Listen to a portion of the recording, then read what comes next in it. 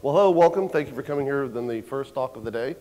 Um, we are going to talk about building a secure pipeline. Uh, I really meant to put the word AppSec in front of pipeline, so that's why I have the parenthetical uh, phrase underneath it. Uh, that was my bad. Because um, this is really about how to do taking the DevOps and Agile and the things that have worked really well for dev and in some cases infrastructure, particularly if you're doing infrastructure as code, those things that worked well for those groups and making them work well for AppSec teams.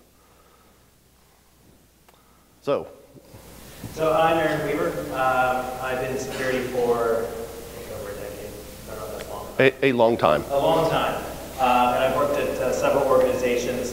Uh, one of the things that excites me about this talk is that um, this is, I think, going to be my third time at an organization to do an application security pipeline.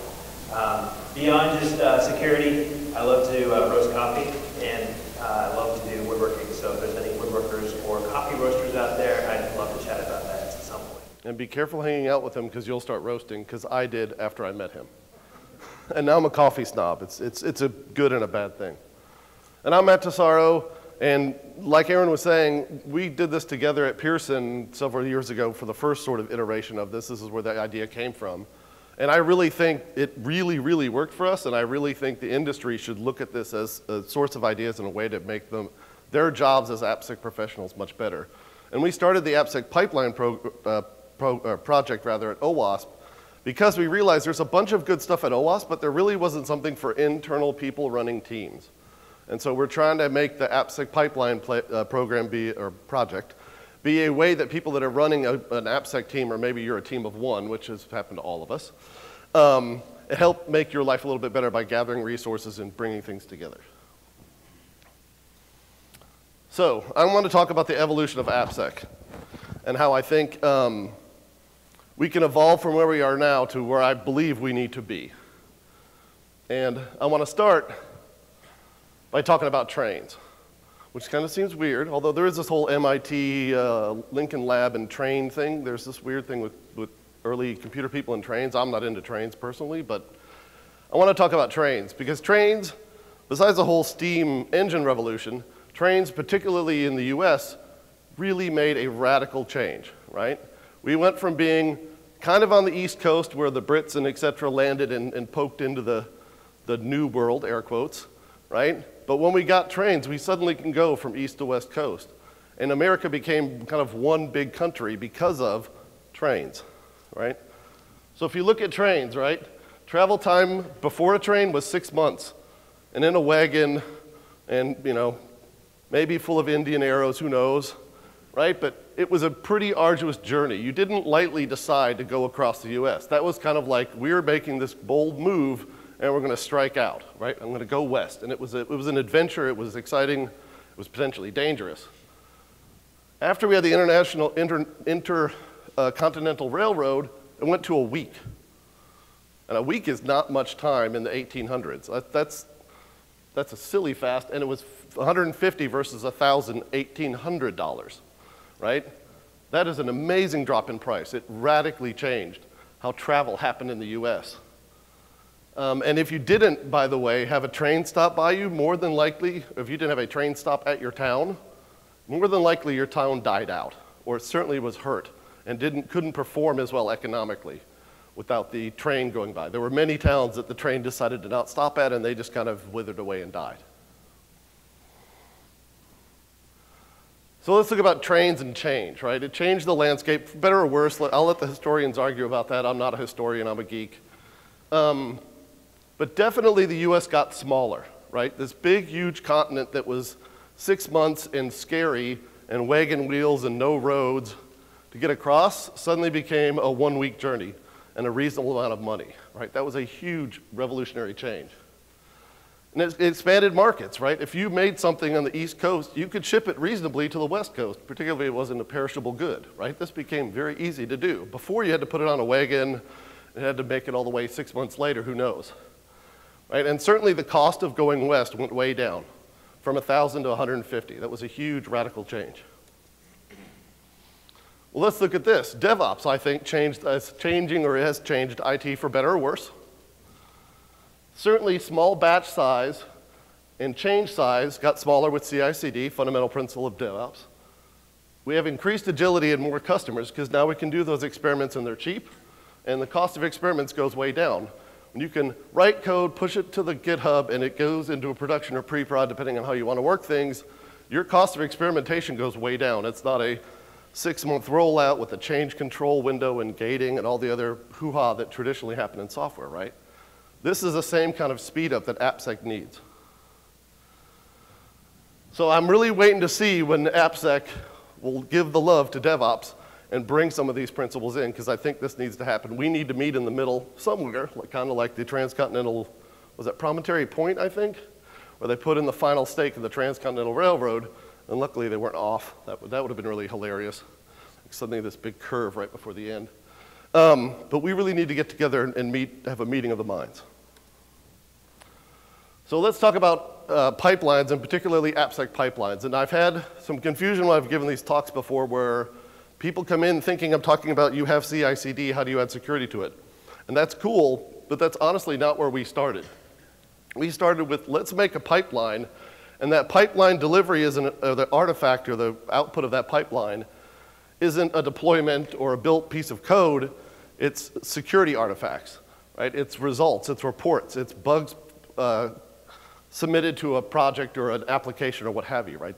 So we're making a pipeline not to build or deploy code, we're making a pipeline to build or deploy the output of a security team, i.e., what's the security state of this, our, our suite of uh, applications.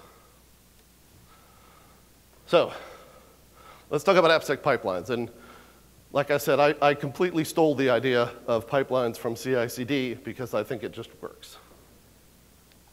And what, what is it, if you're going to do an AppSec pipeline, what are the key features? What are the things that make it unique? You have to design it for iterative improvement because prob- uh, most likely none of the people in this room were hired to be pipeline builders, you were hired to be AppSec professionals, right? So you have to sort of fit this around the day job in essence. Carve out some time to do this, and you're never gonna have the, hey, I need to go idle for six weeks and build this thing, right? You're gonna have to build it in pieces over time. Um, the nice thing is once you get the set, there's a reusable path for AppSec, and you start to have a common language amongst the team and amongst your constituencies about how things are going and where they are in the phase of a request coming in to results going out. Um, and there's a one-way flow with well-defined states, like you're, you've put in a request, I've had your request, now you're going to DAST or SAST testing, okay, your results are in the vulnerability database, now here's your reporting in JIRA or whatever bug tracker you want, etc., right? We have well-defined states as they flow from left to right. Um, and the, probably the biggest thing is it has to gracefully interconnect with whatever your developers are doing in terms of how they handle bugs, right? If, if you're not putting security findings into whatever bug tracker your developers use, you might as well be speaking French to people who only speak English, right? Like they don't want to see a 300-page PDF. I want 300-page PDFs to die and go to bed forever. I never want to see them again. I don't want to produce them. I've produced hundreds of them, and it's awful. Um, so I'm a, I'm a reformed PDF producer. Um, but it really does need to gracefully interconnect with the, with the dev teams. So let's look at a pipeline. So when Aaron and I were at Pearson and we were trying to figure out our situation, that was what it was.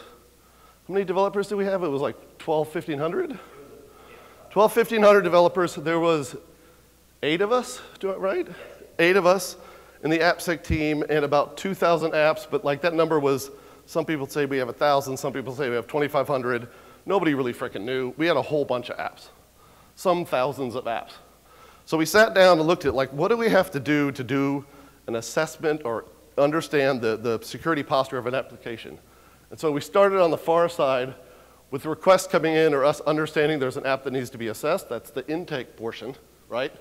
We intake those and then the triage idea, the idea with the triage position is, I've got this request coming into our group. I need to understand more or less how much love I need to give this app, right?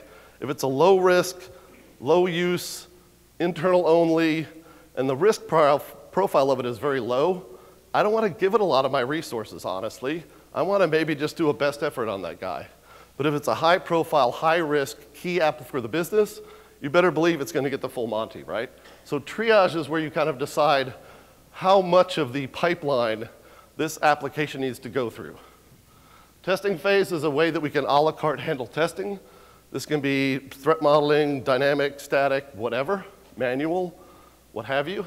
All that happens in the middle, the test position. The key thing is that all of those tests need to output in a format that can be put into a vulnerability management database where you normalize and gather those together, and you have one source of truth for the vulnerabilities in your AppSec program. Um, and then from there, since it's normalized data, you can pull out reports. You can push it into your GRC system. You can push things into JIRA. You can use this to filter out false positives before they get pushed into JIRA, right? And so having those things, uh, I, I want to say stuck together, but I want to find a better word, but I'm just going to say stuck together in the vulnerability uh, management database allows you to do reporting and stuff in one sane way. I don't have to report one way for my static, one way for my dynamic, one way for my manual. All the tests and the reporting comes out the same. And it's great, it's super crazy fantastic for metrics. Yeah. Our, our entire goal there was to stop looking at the vendor tools uh, as our you know, primary source.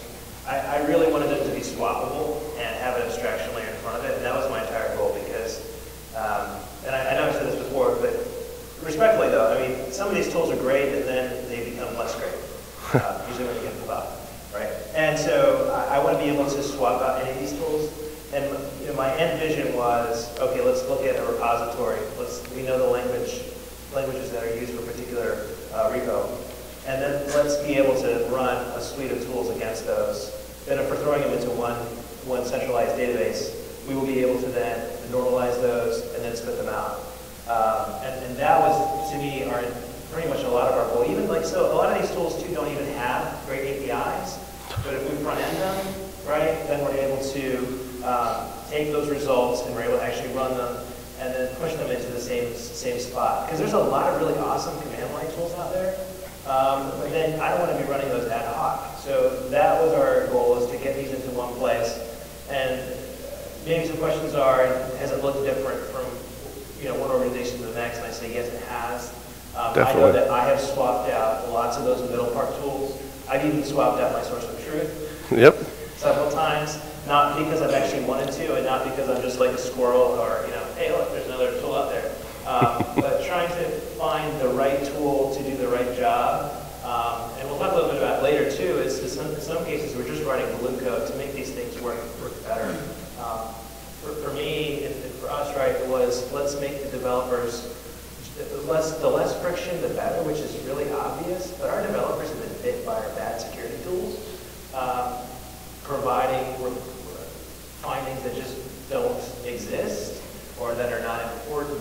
And we're wasting time on these types of things. So that's where we're trying to get to. Right, and we did. We switched out the, our DAST provider in the middle of this at, at Pearson, and it was no big deal because there was an interface going in, there was an interface going out, and as long as we could write glue code to match those, Bye-bye you, hello, new one, done. That's a great point, thank you for that. ah, so what do we want is an a la carte selection of choices, but with, uh, we want a la carte when you come in in terms of how you're gonna assess, but we need a, a reasonable number of choices, right? So it's sort of like you have the best analogy ever. You go to Chipotle or, or what have you, right? You can get a burrito or a bowl, but they only have so, three things of meat, and they have some cheese, and they have sour cream, and they have, right? So it is a burrito built your way, but you minimize the number of choices. Um, and in the case of an AppSec pipeline, you ideally tailor those choices to the risk profile of the app. So the ones that are more risky get more loving, and the ones that are less risky get less loving, just because you have limited resources. So what color is your pipeline?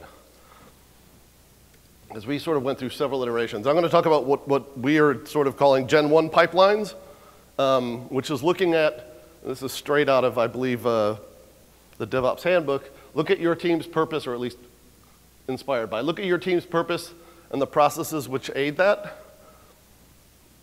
So for us, Oh, I got. I have to. This is a mandatory quote for me. This Devin quote. Right? Spending time optimizing anything other than the critical resource is an illusion, and that's a really fundamental principle, right? If you've got a pipeline and you're fixing things down here, but it's slow up here, it doesn't matter how fast this one is.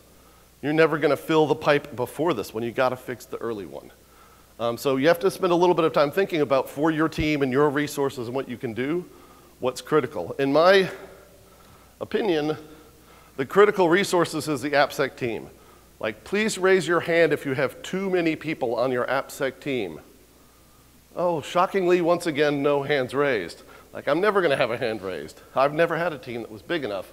So the idea when we first started doing this pipeline was there's eight of us and there's 1,000, 2,000 developers. How can we make, make the work that each one of us has to do be that much more effective? So we automated things that don't require a human brain. Like setting up a DAST scanner really doesn't require a human brain, right? You need a URL, you need creds. You can usually, if you have a decent API on the thing, you can send those in via an API. Maybe you have a few pages you don't want it to hit, that can also be sent in via an API. Like, you don't need a human brain to do that stuff. Why don't we automate that, right? When you automate those non-human brain things, you radically drive up consistency, right? Because now the setup for, let's say, your DAST is the same for every DAST once you provide those baseline details, right? Done. Uh, the really nice thing is we had crazy good tracking of status of things, which I've never had before. This is the first time in my 15 years of being in AppSec that I actually knew kind of where everything was. Because we had these well-defined states, it was really easy to track where things fell. Um, we had radical increase, and we'll talk about it at the end, of flow through the system. Um, and the nice thing is it really increased our visibility and metrics because now we could say, you know what, I know that an app about this big, because I've been in the industry for a while, is going to take three days maybe. But now we had numbers. A DAST thing takes this long, a SAST thing takes this long, a manual thing takes this long, and we have numbers behind that, not just like from the hip industry exp uh, experience talking, but actual real numbers. Um, and we definitely reduced dev, uh, friction because we started just pushing things directly into the bug tracker, which was huge. So here's this. This looks rather like the last slide I showed you, but this was our first iteration, and really what we were focused on was making our team as efficient as possible. It was very inwardly focused. This really, because I've had a lot of questions when I've done these talks before. Well, how did you connect to the CI/CD or the other people? And for our iteration one, honestly, I didn't care what the other people were doing. I needed our house to be in order first. And once that's in order and we're really moving fast, then we can start taking on these external dependencies, in essence, by talking to other dev teams and bringing them on board and being quick about it. Because the last thing you want to do is convince someone to allow you to be in their CI CD pipeline and then make a mess of it, right? So get your house in order, which we did with the sort of Gen 1 pipeline, and then look outside. One thing I'll mention yeah. the second place that I included is that I actually spent more time on this than actually running pen tests or doing application security work. So obviously it's like, look, I can find bugs all day, but if I don't have a well-defined process, and I know it makes sense, but if I don't have a well-defined process, why am I even bothering with this? So, you know, we know there's web app bugs out there. We know there's all these things out there. So I, I actually spent a good deal of time at the next place. I was like, look, this is how it's going to look. Here's how we're going to map it out. And we spent time doing that. Now, a lot of times I'm finding that we're using a lot of similar tools. So, uh, you know, you're finding Jira, you're finding Stash, um, So in some places, in some cases, I'm just able to do drop into the next place that I go to, and then just run from there. Uh, but, but I found that it worked. I've had people ask and say, hey, will it work for my organization? And I'm like, yeah, absolutely it will, because it's abstract enough that it really can plug in anywhere. You know, it's not like, it, we're not telling you which tools to run here. It's just more of a methodology. Well, and, and we've... Yeah, and we've changed the way we presented this because the, when we initially presented this, we said, this is how we did it. And I had many, many people saying, so I have to go get this piece of software to do this. I'm like, no, like, please don't. get the software that works for you. Like, we, at Pearson, we had Service Desk, and if that's run well, um, that would have been a great thing to do intake. Uh, that was not the case particularly at Pearson, and we didn't use Service Desk right? I had somebody in a training I did about this who said, we have service desk and we have great admins and it's super easy to use and the whole company uses. I'm like, well, what the hell? Use it. Like, come on, right? This, this is, it's, it's, it's why this talk is very interesting to me and kind of tricky because I, I don't want to be prescriptive. It's much more of a, this is a general idea and if you keep these concepts in mind as you make choices, as you're laying out your pipeline, you'll be in a much better place. But you're right, it's very, it's very custom. So once your house is in order, right, Look outside your team's purpose. And this is where you're reaching out to dev teams that are doing CI/CD or that have some kind of automation. Because now your internal processes are saying you can actually reach out and integrate with others. So the traditional idea would be stick something like Gauntlt or dependency check or what have you, right, in somebody's CI/CD and just write the little bit of glue code enough to ship it into your pipeline, right? Now you have external people's processes dropping into your pipeline and adding to your uh, ability to see the state of the security of your group. In Pearson, I forget what outside, some other group had a copy of a, shoot, the WAS, the dynamic SAS scanner, from the people who I think of as. Of, ah, anyway, somebody else had a, a dynamic SAS scanner uh, that wasn't even in the security group. Uh, and we said, you know what, you've got that, that's great. Can you feed us results? And we took their results and added them in there because it just gave us yet another view of um, what was going on in this, the whole suite of things that we were in charge of looking over. And so this ability to sort of be able to just plug in, and if you do this right, it's a REST request, right? And that's pretty dang easy. So you finish a result, you send a request in, and done, right? You can also do things like have webhooks happen to cause actions when a, when a scan fires. Ah, and then the other side of it is weaponizing Jenkins, right? And this is a case where if you are weaponizing Jenkins, my advice to you would treat false positives like anaphylactic shock. Like treat it like if you're very, very, very allergic to bee stings, a false positive is getting stung by like 50 bees, right? It will kill you. And it will get you booted out of the pipeline really quick if you break the build for a false positive. Like you might as well just not go to work for the next week or more because no one's going to trust you. And there's already not good trust usually between dev and security teams. So actually treating, giving them non-actionable results is really not helping you. So make sure that whatever test you do, it is ridiculously accurate.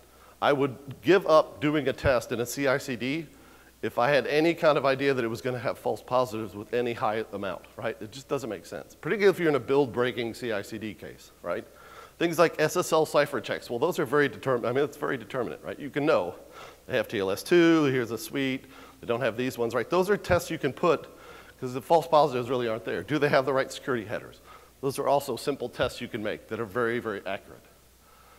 And then think about them between health checks and scanner items. And this is another one where the health checky kind of things, and once again, headers, and kind of normal, do they have the HTTP only on the cookie?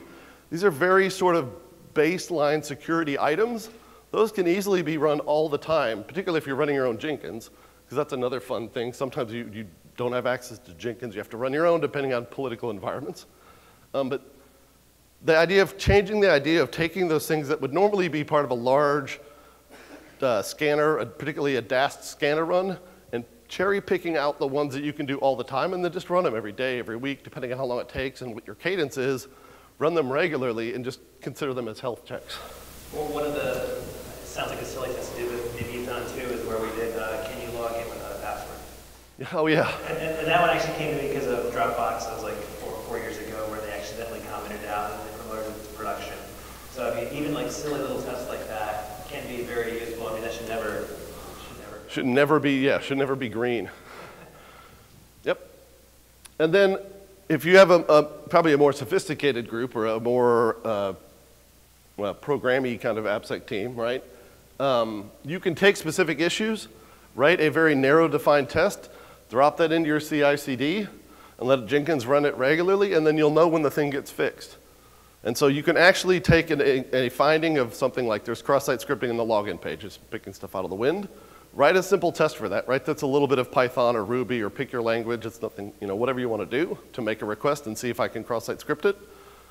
Um, put that as CI/CD, run that, and you will know the minute it gets fixed, right? You can get a ping, in essence, from your Jenkins box that says, hey, this cross-site scripting thing is no longer there. And you can actually, you had this, where you told the dev team, hey, that last release fixed this bug. Which, when does that happen? Like, never? That was really cool. And then cadence is another interesting problem. You have to think about how long tests take and whether or not they're worth doing sort of a build-breaking CI/CD or outside of that process. So for the longer running tests, and we had this really bad at Rackspace, we had lots of really nimble teams, there were certain tests that just took too long to run and we couldn't make them quicker. So we just ran them every week. And you know what? Maybe they had 10 or 15 pushes to production in between that week that I'm scanning, and that's okay because once I find it, guess what? They're going to fix it really quick. So yes, maybe my, I'm not testing every release, but I'm testing every five or 10 releases. That's certainly better than testing every month or something like that, right? So there's this, depending on how fast your teams are going and how fast the tool will run or your test will run, you have to sort of pick these cadence issues. And I, I wish I was good enough at math to give you this magical formula. There isn't one, just use your best judgment. Um, that's certainly a case where you have to sort of look at test, and it's really about taking the things that we would normally think of as the big scanner run and making them bits. Right? Break them up into individual tests and pull out as many of those as you can and run them individually, and that'll save you time. The other thing is, if you're really clever, all those things that you pull out as health checks, turn them off on your DAST scanners. Right? If you're already checking SSL every day via Jenkins, turn that test off on your DAST scanner. Why do you need that again? Why check it twice, right? So you can actually make the DAST scanners run faster by not running the checks that you're already doing. Oh, and here's what I'm trying to get to be able to do at OWASP. I want to take project repos, pull code out to Jenkins, push those, or launch Dockers based on the code that I'm pulling, use something like Zap or other tools, also in a Docker to test them, take those results, push those findings into Defect Dojo, which will be the source of truth, and then from there I can do fun things like push notifications to Slack if the project has a Slack channel, or push uh, validated findings into Jira, or if they use GitHub, GitHub issues, wherever they need them. So this is something I'm trying to get done at OWASP. I haven't made as much progress as I wanted to, in all honesty. Um, but that's where I'm heading, because I think that would be, one, I think it'd be really cool. Two, we're using our own tools to test ourselves, which I think is really hilarious. I don't know if you remember OWASP Orizon was a Java static analyzer. I pulled that down um, and talked to Paolo, and I said, hey, have you ever, said, I found a bug with your, with your Orizon. And he said, really, what'd you do? And I said, well, I downloaded Orizon, and I compiled it, and I ran it against itself. Sorry, you wrote a Java tool to test Java. I'm going to run it against itself. And just a quick word, Defect Dojo had a, uh, woo, I'm going to move a little faster. Defect Dojo had a talk yesterday. If you didn't go to it, you should check it out. It's an OWASP project. It's fantastic. It's a great single source of truth. And it's gotten a lot of uh, velocity. And then evolving AppSec faster. Oh, what oh my goodness, I'm still far ahead. I need to go faster. I've been rapping too long. So what went hand in hand with railroads? Well, that was the telegraph, right? Telegraph, right, was a way to speed up signaling. Now you had fast travel, you also had fast communication. Um, and it used the common language, Morse code, right, to transmit those messages.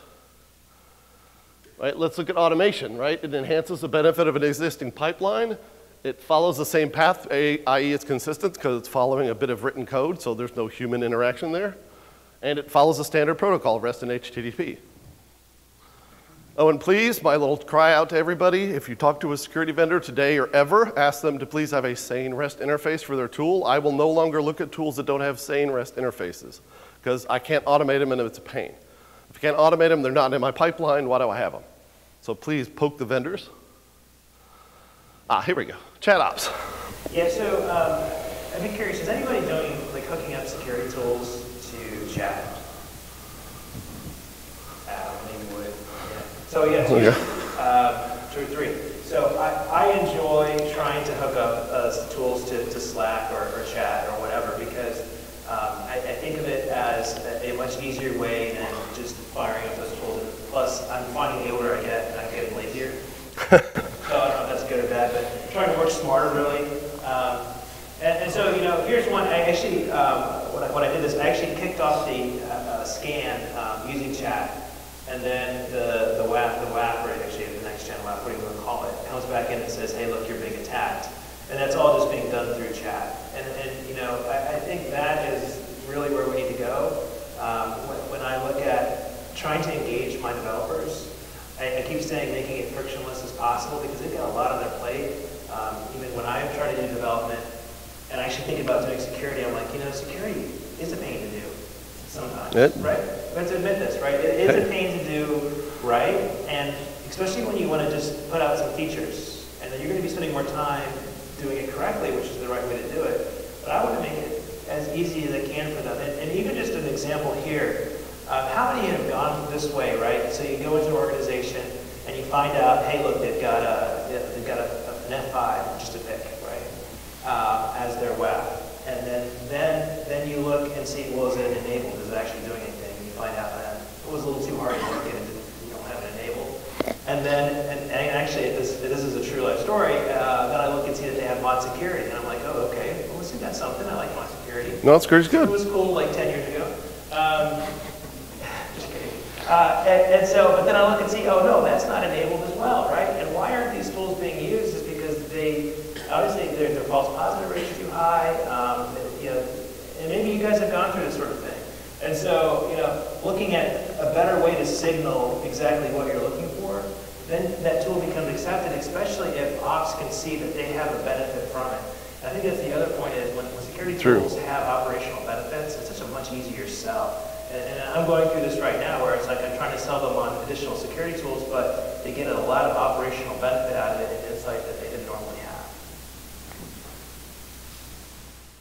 Yeah, and this, this is somebody poking at the www.owasp.org and getting banned for 24 hours, which happens all the time. And I just get a little, there's, if you go to our, our public Slack, you can go to the infrastructure, infrastructure blocked IPs and watch them scroll by. It's amazing how many people like fire up DirBuster at www.owasp.org. Like, come on, really? Um, and, then, then this is an idea, I had uh, so-so responses with it, and um, you know, I, and here's the thing, is like, I experiment uh, quite a bit, right? Where I try different things, see if it works, and uh, I can't say that this was like super, like everybody used it, but I was just trying a different way, rather than having a stale wiki that, you know, nobody looked at, I thought, well, could I put it in the chat, and do we have like chat ops where you could just say, hey, look, I'm doing XSS, what library do you recommend, and then boom, there it is. Even if I'm the only one that uses it and say, I can just, just add, tag the, the developer and say, well, here's, here, here's our library, here's a way to point to it, versus just static stuff, wikis that nobody ever, nobody Well, the thing I liked about this is we did this at Pearson, and we were all over the globe, you know, all around the world, different developers everywhere. And I like to sleep. And so if my time, 3 a.m., you want to ask me about cross-site scripting, well, you can ask the bot because it's not sleeping. And at least get some rudimentary information until I'm back in the office, which was nice. Same with static analysis. Um, I don't like to configure static analysis jobs, just like talking about, you know, automating the things that are boring and the things that we don't want to do. I do not want to be setting up static analysis jobs or if I've got all the information. If you know where it is in GitHub, like why should you have to do all this stuff? Uh, so that, that their command, that command, and I think in, in further iterations it made it easier, uh, where you could just say, hey, look, we want to scan this repo, and it's going to create a project, it's going to add it to our source of truth, and it's going to set up where it needs to go in Jira, right? Those, those are things that we can all do through chat ops. Uh, so really, I, I kind of, I looked at it as my command line, which was actually in chat, is, is the way that we looked at it. Uh, then the, the other idea I had, uh, and, and it was, and it's always interesting how as application security uh, professionals, we, we, we sort of, we sort of find like-mindedness, because when we talk about scaling with Dockers, there's some folks that I think at Cisco. um, Yep. Oh, that are doing the same thing. With a nice proof of concept tool that scaled using uh, Docker containers. And so I've experimented with this. I can't say that I have anything that I can show you that's really ready to release yet. But the, the idea there was, you know, you've got some really good tools that are there pre-configured. I don't want to have to go and find out how to compile certain programs. Let's face it, like a lot of our command line security tools are just a pain in the neck. To install, To yes. Install, and then they've got all these libraries. There's other people, I don't want to be maintaining that, for one thing. Um, so we, we would just, you know, you use Kali and then, uh, okay, Nikto, okay, it's kind of lame, but you still find cool stuff in Nikto. It's true? Sadly. Sadly. Sadly. And this is just a lame example, but uh, of just, hey, let's just run Docker and then um, and you can get good scaling with that, you know, and then it just pumps the results back in. You can pretty much, you know, run any sort of security tool against whatever you like.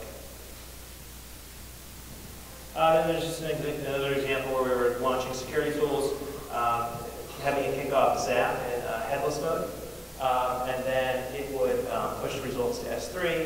S3 would then, uh, we would ingest those.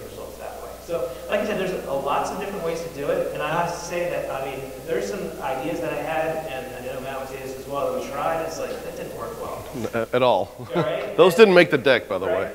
And, and we can admit, like, you know, we made some mistakes, and some things didn't work as awesome as we thought they would, um, but we scrapped it, and then we moved, you know, we learned things from that, and Yep. we made it better for the next generation. Um, and so, I guess that would be my, my takeaway for this is, you know, just keep experimenting on this and keep iterating through it, because your developers are doing the same thing. I mean, like, how many JavaScript frameworks are out there, right? They're always looking for something better, and so are we. And we have to keep that. We, you know, I think maybe there's a mentality of we set the tool and it's done, and now I move on to the next thing. And That's not always the case. Yeah, you know, you have to iterate all the time. And half of the fact that we had our pipeline going, well, let us do these fun chat ops things, because we already laid the way for, in our case, our static tool to dump it into our, uh, our uh, vulnerability management database, so that was there. And So it now was it's just a matter of, So we Yeah. already had our API pretty Yep. much there, so it was. made it easy. simple to query it. Yeah. And you want to say about that. Oh, well, we kind of said all this stuff already. It does effectively scale. You can obviously run tools anywhere, and deployment is silly easy with Docker. But you guys know that if you play with Docker. Yeah. We're tight on time a bit, so. Yeah, we'll just jump through those. We, oh, yeah, go ahead. Oh, no, this is just, a, you know, different ways uh, of, of going through it. You know, Jenkins, can, you can obviously take your security tests, you know, and, and you can do it in different ways. Um, and this is obviously then calling out to our um, security tool sets that we created, our APIs, one of those security suites. Done. Uh, Same sort of thing is, is taking the, the pipeline as code approach, right? So, you know, integrate your security test, say, hey, look, here's a developer, you want to do some security tests, just throw in this little bit of code here, and now you've added security to your, your release. This is the way to start. Yeah, and then conduct your own pipeline experiment. So this is sort of my call it if you want to get, if you want to, as I say, come down out of the traditional AppSec trees, using my evolutionary theme again, right? To do AppSec well, I really think you have to write code. I don't care what language it is. I don't care how nice the code is. I don't care if it's really crappy code. I've written loads of really crappy code. You just have to write code, one, so you understand the travails of developers. If you've never been a developer, you should at least bust your knuckles a few times and spend a day finding a semicolon and realizing there may be better things to do with your life. But like, we've all been there, and if you haven't, you should, because then you can tell that war story when you're around a bunch of devs and they kind of go, oh, it's another brother who fought a day for a stupid character, right? Um, but you really should do that. And like I said, I don't care what language, just program something. The other thing is, most of the stuff we've talked about today with pipelines is glue code. It doesn't have to be production ready, multi-threaded, mutexes, yada, yada, none of that. Like, simple, simple glue code. I'm gonna pull in from this, I'm gonna munge the data, I'm gonna send it to that. Um, so don't worry about having to do these ultra elite, sophisticated algorithm, yada, yada, yada. Simple, simple glue code. Most of the stuff we wrote is un- under 200 lines. Yeah. Just simple little things to get you through. I'll say one thing that really helped me is that uh, I I had started out as a developer, and then I, I um, obviously went into application security, and then you find yourself doing pen tests, and you find yourself doing all those kinds of things. What, what helped me get back into it was that I actually did a Travis integration, added security tests, added non-functional tests, all those types of things that you want in a, in a CI/CD pipeline. And then it made me think, oh wow, so these are all the things that my developers are contending with. It's not just me talking and saying, hey, look, you know, you should do this. I've done it, and I feel, I feel your pain in a way, but I also see that, you know, how can you make good suggestions for security in the DevOps pipeline if you don't know how a CI/CD pipeline works? Yeah, absolutely. Absolutely. And, and I'll have to say too, I had to get over my embarrassment of, I mean, like I said, you know, we're writing some glue code and some of it's, you know, a little embarrassing, but yeah, I committed to GitHub, you make fun of it if you want, but get, for me, it was like getting over that hurdle of, you know, I'm gonna push it out there, and then, you know, somebody might not use it, but it might spark an idea of saying, hey, you know, I can make that better for you. Yep. And that's exactly what we've seen, especially with DefectDojo, is we see other people and folks contribute, and then iterate off of that, and do some things that we never even thought about, which is really. Which has been fantastic, yeah. Um, quickly, I'm going to run through some case studies very fast because we're short on time and I want to make sure we get to the last bit. Um, AppSec Pipeline Company 1, they took security findings, turned them into tests, much like I spoke about earlier about weaponizing Jenkins. They added those tests, like I said, to Jenkins. They ran them regularly. They turned green when they were fixed. They tied alerts and chat ops to those fixes. And they had two FTEs that were able to assess 35 apps in one year. So that's pretty good if you think about a normal sort of pen test window. And the fact that they couldn't get regressions on existing issues because they wrote tests for them. Because you don't ever turn those off, they just are always green, right? So no big deal. Let them run, and if, if they do actually ever go back to red, you've had a regression, you can find that stuff out. Uh, the other one was Company 2. Uh, in 2014, they did 44 assessments. Uh, in 2015, they did over 200. Um, and the reason the over 200 isn't known is because they didn't start counting until March. Um, so they're kind of a little bit of guess there. But they did create a pipeline that launched in March. They lost a couple of FTEs during that year, but still made speed improvements. Um, that they lost? Huh? You got a, oh, what, what? Oh, yeah, well, half. Well, yeah, somebody got half assigned. I know. We, we cut somebody in half. It was, yeah, it was a mess. No. Uh, anyway, yeah, sorry. Uh, the following year, they went from 200 to 414, which is a, uh, what, 2x improvement, roughly speaking. Um, and they also lost even more people. Um, and the people weren't backfilled because everybody knows how easy it is to find AppSec people. So overall, if you look at it, oh, it cut off the slide. It's a 9.4 uh, increase from 2014 to 2016 by doing this pipeline. And it took about three months of meta work, so to speak, to get the pipeline in place. But once it was in place, those speed improvements just kept coming. It was, it was really surprising. Uh, But I will say with that too, is it made it very easy to add another person into it. It's not like it was like they had to learn a whole lot of things. It was like, oh, here's your job. It's fairly well defined. That's true. And That's a huge point. Be able to work through, like, okay, I'm going to start out doing, you know, app security reviews, and then maybe I want to do work back into the. Back into the, right, or I don't code yet, so I can look at false positives in the knowledge repository, absolutely. Ah, So, um, the, the idea with this is, and when I show Bruce, well, you know, here we are down at Disney, right? Um, but I, I have kids, and, I, and I've probably watched this more times than I care to say. Um, this is Finding Nemo, and there's the nice Finding Nemos and all that kind of thing. But I relate, I relate with Bruce. Uh, maybe you, you will too after this. Um, he, he would say this, right? I'm a nice shark, not a mindless eating machine. If I am to change this image, I must change myself. Fish and friends, not food. I, I've heard this like a gazillion times. Anybody have kids? Yeah, all right. Everybody, everybody should know this one. So I was thinking about that, and I was like, oh yeah, this is application security. Right after like the 50th time of watching it, you know, you're, you, you start to come up with crazy analogies. And so um, I, I, I thought of this. It says, I'm a nice security professional, not a mindless vulnerability spewing machine. If I'm to change this image, I must first change myself. Developers are friends, not fools. Um, and I think sometimes that's a mentality that we get into. Honestly, we could probably think of somebody, and that maybe we even work with right now, that is that grumpy security person that developers don't want to work with. Hopefully, it's not you, right? And maybe it was you. You can recover. I say there's there's hope, right? Um, so just think of that, and um, I, you know, I, I trademarked it for SecDevOps. Just kidding, but uh, if it you have to add SecDevOps to everything, right? Uh, and And that's it.